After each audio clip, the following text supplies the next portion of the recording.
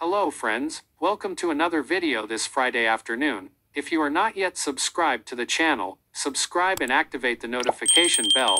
The transfer market is about to close in South Africa and several movements could be done this week.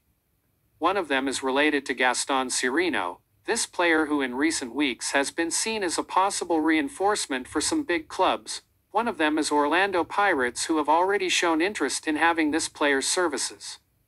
However, he has already presented an official proposal to the Mamelodi Sundowns team to leave the team this season, which means that it is more than certain that Sirino will leave Sundowns. Orlando is hoping that he can join their team.